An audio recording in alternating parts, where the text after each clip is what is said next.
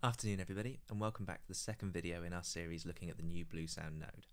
In this video I'm going to show you how you can get the node connected to your network, dive into some of the audio options, look at how you get your streaming services added, as well as how to set up some presets. These presets allow you to take advantage of the buttons added to the top panel of this new version of the node. So the first step is going to be getting the node physically connected. For more of an explanation on this, have a look at the first video where I go into more detail about what each of these connectors do. So first off, I'm just going to connect a pair of RCA cables into the audio output. I've got a nice pair of the Chord Shawline here. If you do have the option of connecting the node to your network with an Ethernet cable, I'd recommend it as it will almost always provide a stronger and more consistent connection. Today we're going to set the node up over Wi-Fi, but I'll also show you how the wired setup works. So let's get this plugged in and powered up. The first thing you need to do is make sure that you have the BlueOS app installed on your control device. This app controls any Bluesound enabled product, be that Bluesound speakers or streamers, or products available from companies like NAD, DALI, and Monitor Audio. Today I'll be running the iPad version of the app, but it's also available for iPhones, Android devices, as well as Windows and Mac computers. Once the unit has powered up, this light will go green, meaning it is in hotspot mode. I'm now going to cut to a screen recording of the app, so you can hopefully follow along with the setup process. This is the main home screen on the iPad version of the app. The Bluesound app is built around three main panes. The middle pane that we're looking at now is the Browsing, Playlist and Now Playing pane. If you're firing up the app for the first time, you'll be taken through the setup process first, but as we have a few Bluesound products here already, you're seeing what it looks like when you're up and running. To start with, we're going to have a look at the right hand pane, which you can access by swiping towards the screen from the right hand side or by pressing the little house icon on the top right corner of the app. This pane shows you all of the different devices rooms you have set up. The BlueOS system is designed to allow you to get your music into every room in your house, and this section is where you can change between different rooms, group them together, and control volumes. As you can see here, we have quite a few devices set up already. If you scroll down to the bottom, you have this little plus sign with the Add Player button. So the Bluesound app has searched for any nearby players in hotspot mode and has very quickly found the node that we're setting up today, which has just got a generic name here. If I click on this name, I'm brought to the AirPlay setup as I'm setting this up on an iPad. Um, it's just searching and working out some information about my network from my iPad. So here you can see it's connected to our 5G network that we've got here. Um, if I wanted to connect it to a different network, say our 2.4 gigahertz network, I can click Show Other Networks and select that there. If I click the speaker name section here, I can rename the unit. Um, this node is going in our demo room, so I'm going to imaginatively title it Node Demo Room.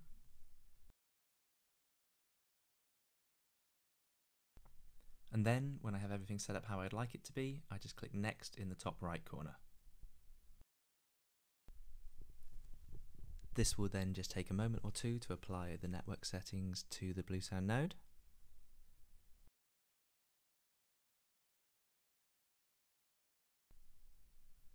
And there we have it, it's connected and on our wireless network. So I can click Done here, the Bluesound app will now just search to see if there are any updates for the Bluesound node.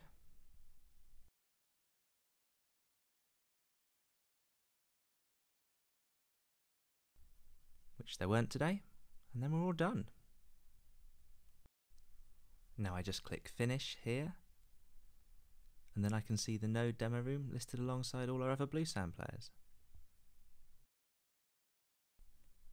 That was setting the Bluesound node up via Wi-Fi, but if you had plugged it into your network with an Ethernet cable earlier, what you'd see is something like this, with the node listed here amongst the other rooms with a little indicating that it needs some setup. If you click on the node, you'll eventually be taken through to a screen where you can rename the unit.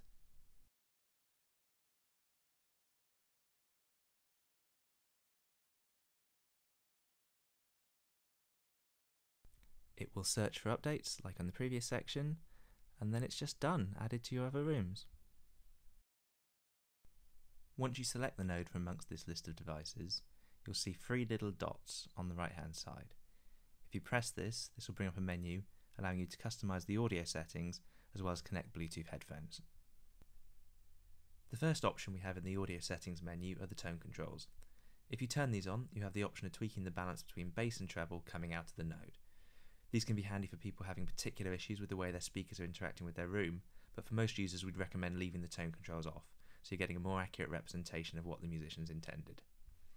Next up is the option to add a subwoofer connected via the subwoofer output on the back of the node. Turning this on allows you to set a crossover, which is the frequency below which the audio will be sent to the subwoofer. This will often take a little trial and error to get right, but a good rule of thumb is that the physically smaller the speaker, the higher the crossover will have to be.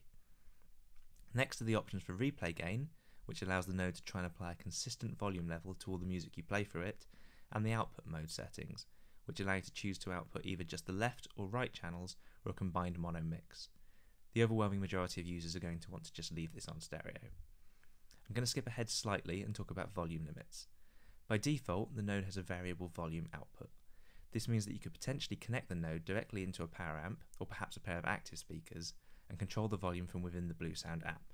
If you are doing this, you'll probably want to set a maximum volume limit to ensure that you don't accidentally deafen yourself or damage your equipment by pushing it too hard. However, in our demo room, we'll most often be using the streamer with an integrated amp, i.e. one with its own separate volume control. Therefore, we want the node to be putting out a fixed, line level audio, so we flick the appropriate switch. Doing so also gives you the option to tell the node that you're using an external DAC that supports the MQA format, if you are doing so. Now to finish setting this up, I'm going to show you how you can add your streaming services to the Bluesound system and set up some quick access presets. All of these features live on the left hand pane of the app, and like the Rooms menu but in reverse, is accessible by swiping towards the screen from off the left hand side this time, or by pressing the icon with three horizontal lines in the top left corner. This is sometimes called a hamburger icon, so do with that information what you will. The left hand pane is broken into a couple of different groups. First of all is the personal section, comprising of your playlists, presets, and favourites. It's important to bear in mind that these are favourites and playlists you create within the Bluesound app, not within your streaming service.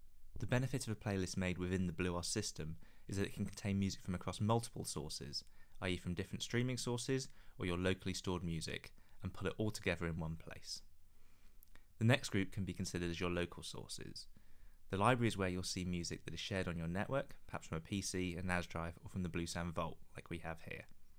Below the library, you can see the Bluetooth connection, as well as the HDMI and optical inputs, so devices that are physically connected to your node. Below this are your streaming services. When you first start up, this list should be populated with TuneIn, which is the internet radio provider, as well as Calm Radio and Radio Paradise. I cannot recommend Radio Paradise highly enough.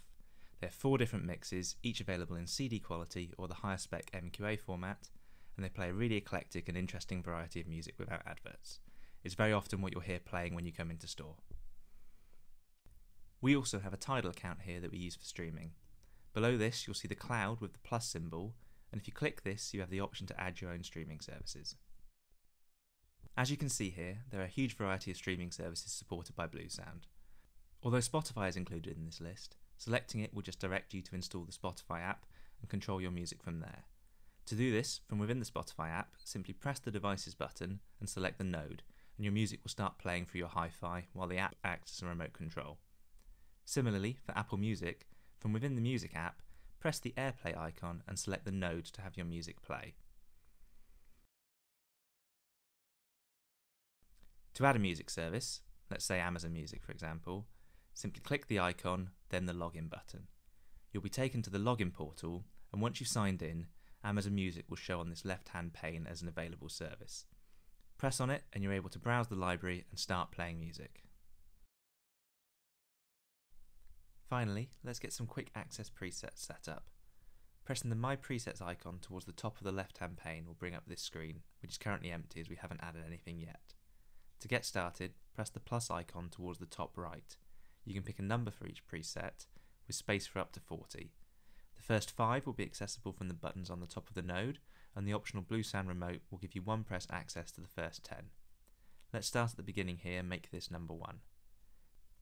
Pressing preset sound allows you to choose what will happen when you select this preset. As I've mentioned, we often have the Radio Paradise main mix running in store, so I'm going to select that first of all. You can see that it has automatically been named after what I selected, and if I press back you can see the icon and the number 1 indicating that the first preset is set up. Let's press the plus button again, and this time I'm going to add something from one of my streaming services.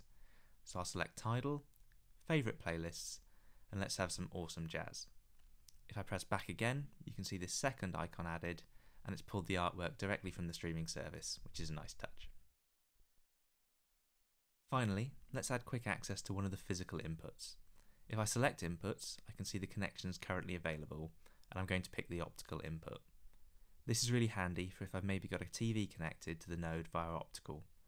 I can just get it playing, press button number 3 on the top of the node, and I'm getting my TV sound from my hi-fi, taking advantage of the nice digital to analog converter inside the Bluesound. I don't have to find my iPad first, unlock it, boot up the app, and find the right input. I can just press one button and I'm done. If I go back again, I can see all the presets I've set up.